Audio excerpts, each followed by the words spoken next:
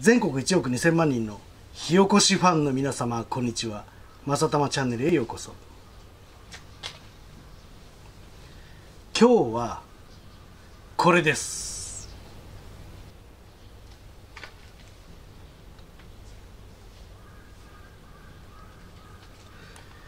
ファイヤースチールというものですね。火打ち金です。日本語で火打ち金とか火打ち釜というものですね。よくあの時代劇昔の時代劇とかで銭形平次のあの奥さんがこうやってカチカチってやるあの火打ち火打ち金ですね。火打ち石と火打ち金。私この火打ち金は4本持ってるんですがこれでどれが一番火花が散るかなっていうのを今日やってみたいと思います。あとはねこれを使って本当に火が起こせるのかというのもやってみたいと思います。それでは始めましょう。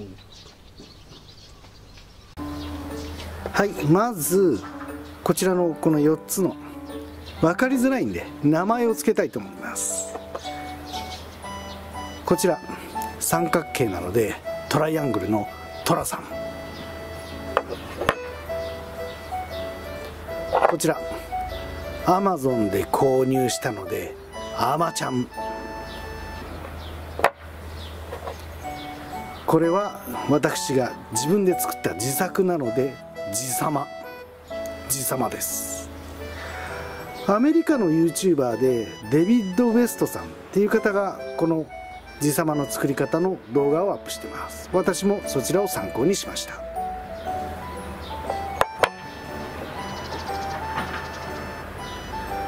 そして最後こちら。かっこいいですよね。かっこいいんで拓也です。拓也。まずはこちら。寅さん。寅さんどうでしょう？ストロークを長めに打ちつけてください。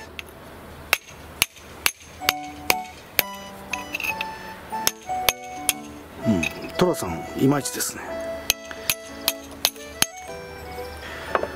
寅さんでした。はい次はあまちゃん。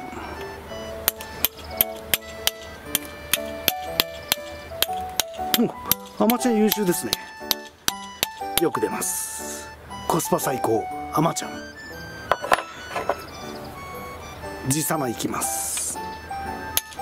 おじさまもいいですね。よく出ます。うん。いいです。そして最後拓也です、うん、拓也も出ます。ねいいです。いい感じです。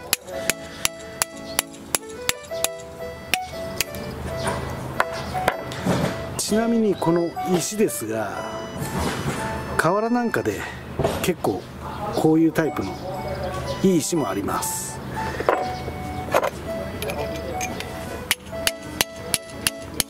結構落ちてる石でも。出ますね火花。こういうタイプの石。よく出ます。うん、うん、出ますね。別に火打ち石は買わなくてもこういう河原とかで落ちてる石でも代用できます。こういうの1個持ってって河原で落ちてる石なんかをこうやって割ってはこうやって打ってみて見つけてみるのも面白いかと思います。それでは順位発表。1番1位は地様ですね。さすが自作の地様。はい2位は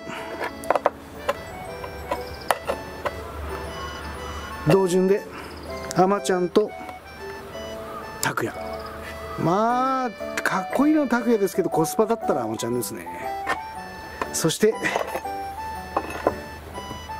最後、まあ、4位ですね。が寅さんでした。それでは実際火が起こせるのかをやってみましょう。まず必要なのが火打ち金ですね。ファイアスチール。そして火打ち石。です。そしてチャクロス。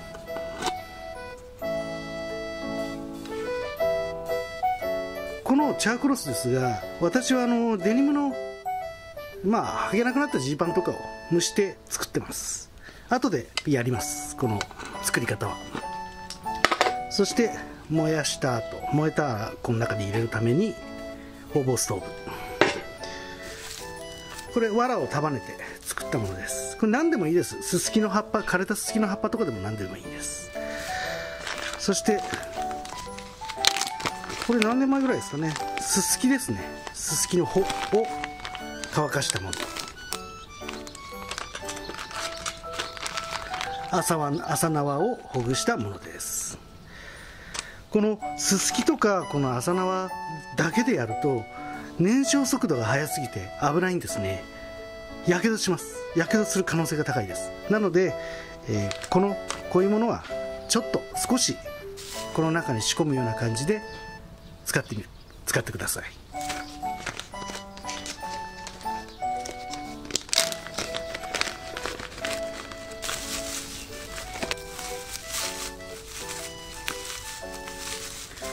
まずはこうやってきを仕込みます。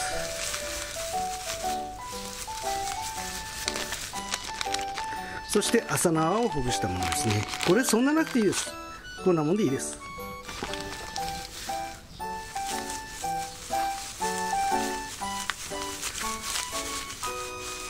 このように仕込んでください。はい。チャークロスを取り出します。結構大きく使っちゃってもいいと思います。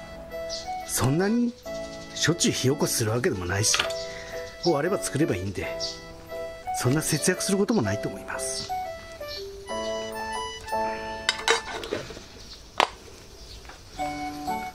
このギザギザこのギザギザみたいになってる繊維があった方が多くあった方がいいです。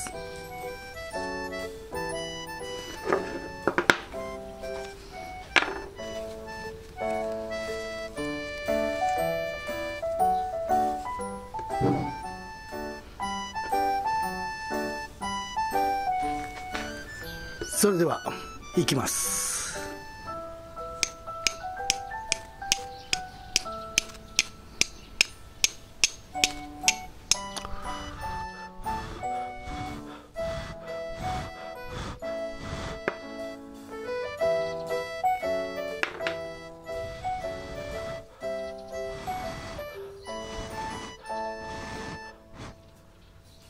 つきました。そしたらこの中に仕込みます。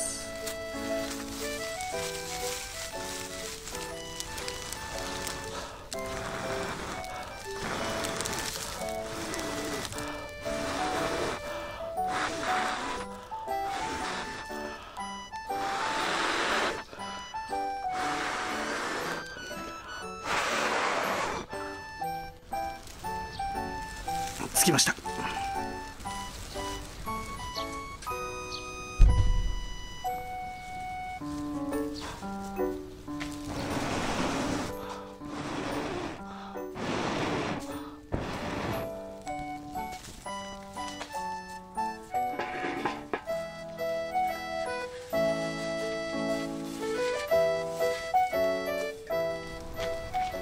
燃えてますね。